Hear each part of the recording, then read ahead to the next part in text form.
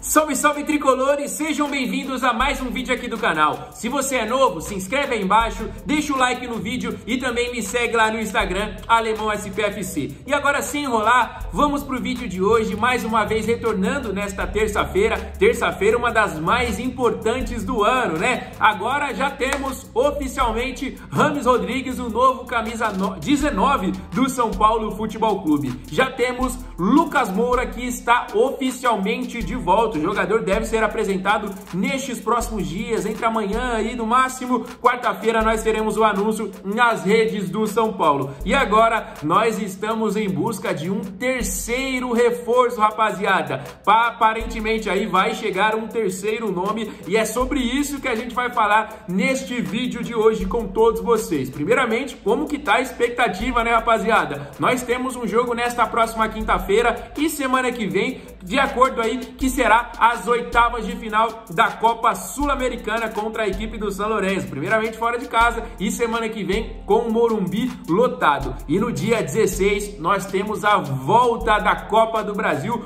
contra a equipe do Corinthians. Nesses meios aí, nesses intervalos nos fins de semana, teremos jogos também importantes pelo Campeonato Brasileiro. Mas vamos lá, vamos falar sobre o que importa, né? Primeiramente, vamos falar que o São Paulo está em busca de um camisa 8. Exatamente, o São Paulo está em busca deste meio-campista que pede aí o Dorival Júnior e as informações a gente vai trazer agora as atualizações para todos vocês. Tem muita gente brincando aí que esse terceiro reforço do São Paulo é a saída do Roger Guedes. Para quem não acompanhou, Roger Guedes, camisa 10 da nossa equipe rival, Corinthians, que é justamente quem a gente enfrenta na semifinal, não joga mais pela equipe. Ele aceitou uma proposta aí do Qatar e já está de saída. Pelo que eu vi aí algumas informações que ele viaja amanhã mesmo e não veste mais a camisa do clube. Ele não treinou ontem, né? Nesta última segunda-feira e não está relacionado para a partida. O Corinthians também joga pelas oitavas da Sul-Americana e já viaja amanhã, ou seja, não é mais o jogador da equipe. E com isso muita gente brincando aí que este é o terceiro reforço. Mas informação séria aqui, rapaziada. O São Paulo está de olho na contratação de Santiago Lombo. Trouxe a informação para vocês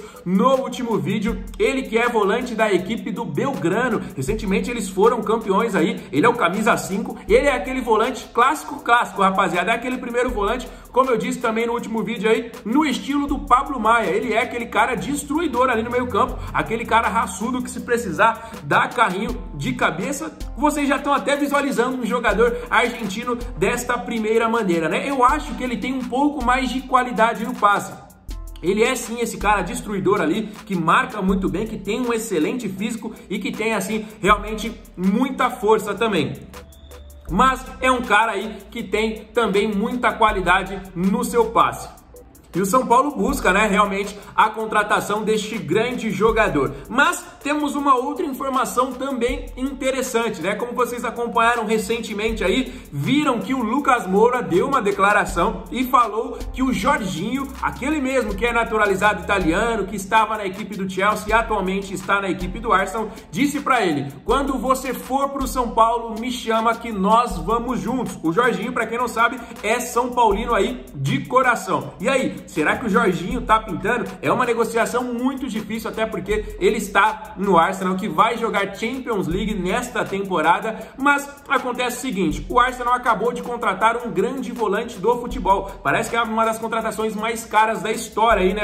O Declan Rice, que é da seleção inglesa e que veio da equipe do West Ham. Tiveram alguns amistosos, o Jorginho não tem toda essa possibilidade de titularidade. Mas o Fenerbahçe da Turquia, uma equipe muito endinheirada e muito tradicional também no futebol futebol europeu tá de olho. O Jorginho é uma negociação um pouco mais distante, é uma negociação mais improvável. Mas, vamos falar a verdade aqui, o Rames Rodrigues era muito improvável de vir para São Paulo e foi apresentado hoje. Lucas Moura era muito improvável de vir e também chegou. E agora, o Jorginho também é improvável. Será que vem? Obviamente, este camisa 8 seria um, mano, seria realmente uma contratação assim que colocaria o São Paulo a nível de Champions League, porque você traz um Ramos Rodrigues, você traz um Lucas Moura, você traz um Jorginho, eu sei que vai ter gente falando: "Ah, vai ficar um pouco mais lento, os caras têm uma idade um pouco mais avançada", mas qualidade todos eles têm e elevam o time de e elevam o time aí qualquer time aí do futebol brasileiro, né? Elevam o nível aí de qualquer time do futebol brasileiro. Então,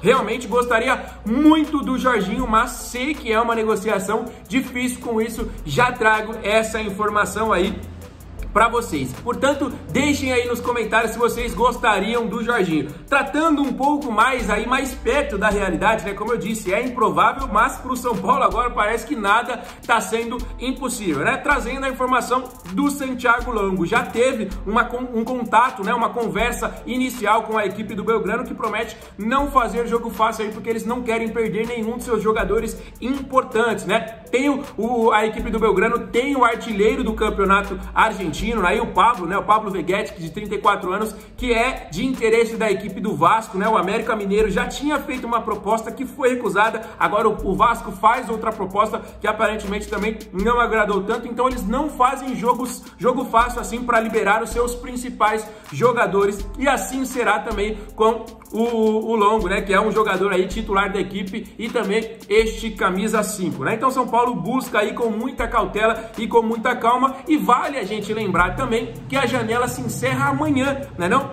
Quarta-feira, dia 2 de agosto, é o dia que marca o encerramento da janela. Então São Paulo corre contra o tempo também, nós temos aí pouco mais de 24 horas para o encerramento da janela de transferências e o São Paulo trabalha aí nessas últimas horas para conseguir acertar mais um reforço. O que o Dorival pediu, o São Paulo conseguiu. Nenhum jogador importante de saída, pelo menos até agora. Nós temos aí também sondagem do Zenit pelo Rodrigo Nestor, que na minha opinião já deveria ter vendido, ainda mais depois desse jogo contra o Bahia, com a chance que ele perdeu. Não tô criando crise, não tô criticando, mas tenho a minha opinião aqui que o Rodrigo Nestor hoje já não é mais tão válido assim para o São Paulo continuar com ele. Porque se a gente montar o meio campo, isso tirando ainda neste primeiro momento um camisa 8. Na minha visão, a gente poderia montar um time aí com o Pablo Maia, com o Gabriel Neves, com o Ramos Rodrigues, com é, aí o Lucas Moura de um outro lado, e aí a gente vai de estratégias entre os jogos. Se a gente quiser um pouco mais avançado, a gente coloca ali um Luciano do lado do Caleri. Se a gente for marcar um pouco mais, a gente pode colocar um outro cara de marcação ali, como por exemplo é, o Michel Araújo, como alguma outra peça aí para o São Paulo ser um pouco mais consistente ali no meio de campo. E aí eu acho que o Rodrigo Nestor já não cabe mais. Se chegar esse jogador como é o Longo, aí já seria uma estratégia do Dorival para manter ter muita marcação e muita força física para dar mais tranquilidade para o Ramos Rodrigues e para o Lucas Moura, né? Para eles não precisarem a todo momento recomporem ali para marcar.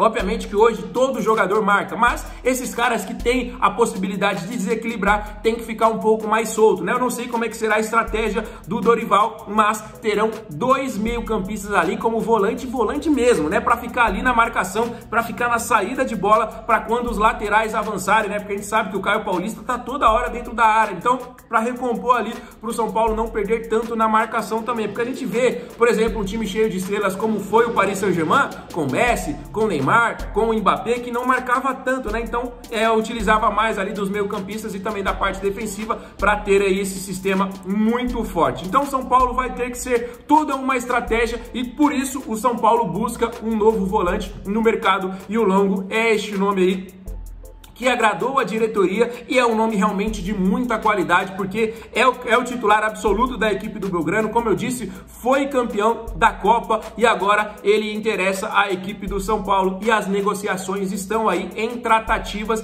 Lembrando mais uma vez que a janela se encerra amanhã, então amanhã nós teremos muitas novidades. Por isso eu falo para você que é novo, já começa a acompanhar a gente, já se inscreve aí no canal, porque quem acompanha o alemão já viu em primeira mão que o São Paulo traria o Ramos Rodrigues, já viu em primeira mão que São Paulo traria o Lucas Moura e trouxe esses dois e agora está aí para fechar este terceiro reforço. Gostaria do Jorginho? Acha que é uma, é uma negociação é um pouco mais difícil? Gostaria do Longo aí vindo argentino vindo da equipe do Belgrano? Quero saber a opinião aí de todos vocês também. Tá bom, galera? Vi muita polêmica aí envolvendo a camisa 19 do Ramos Rodrigues, falando que o Luciano tinha que ceder a camisa 10 para ele. Rapaziada, é um pouco mais difícil do que a a gente imagina. Por quê? Já está registrado em todas as competições que São Paulo disputa que o Luciano é o camisa 10. Tem umas competições que são mais fáceis, é apenas trocar a numeração. Mas a Sul-Americana, por exemplo, já não seria tão simples assim, já não seria tão possível assim. Na Copa do Brasil, o Luciano está suspenso. Então é um pouco mais difícil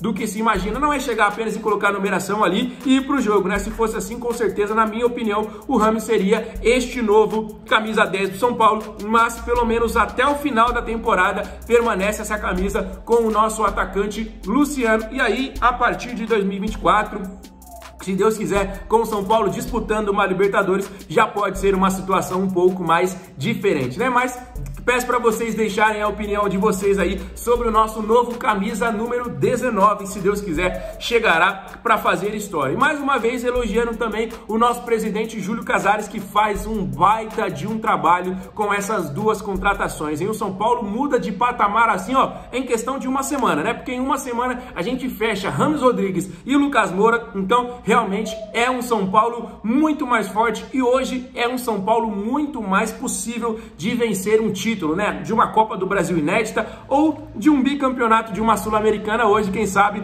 com o Lucas Moura, né? Que lá atrás, em 2012, fez um gol em uma final. Quem sabe, né? Esse ano aí, em 2023, a gente não consiga aí esse título pra gente entrar pra história e, se Deus quiser, voltar pra Copa Libertadores depois de dois anos, né? Vai ser três anos ano que vem aí, mas 2023, 2022, nós não disputamos essa competição que é tão importante para nós. Então, Terceiro reforço, fique ligado, porque amanhã a gente vai trazer todas essas novidades, último dia de janela e mais informações sobre a contratação do Lucas Moura, prazos e tudo mais. Quando o Lucas vem, qual camisa ele vai vestir, tem muita gente falando na número 7. Então a gente vai trazer essas informações aí para vocês nos vídeos de amanhã, tá bom? Teremos dois vídeos amanhã aí para vocês ficarem 100% atualizados. Por isso eu falo, é novo, tá chegando agora aqui no canal, não tem nenhum problema. Se inscreve todo todo dia principais informações, principais novidades sobre o São Paulo Futebol Clube. Então, mais uma vez, dá essa moral pra gente aí, curte o vídeo, compartilha com os amigos e também, ó, deixa nos comentários aí as suas opiniões sobre todos esses assuntos que eu falei, combinado? Vou ficando por aqui, volta amanhã, meio-dia, com mais novidades para todos vocês. E às 18 horas nós temos um segundo vídeo com mais informações, tá bom? Fiquem com Deus, um abraço do alemão, até amanhã, valeu, tamo junto!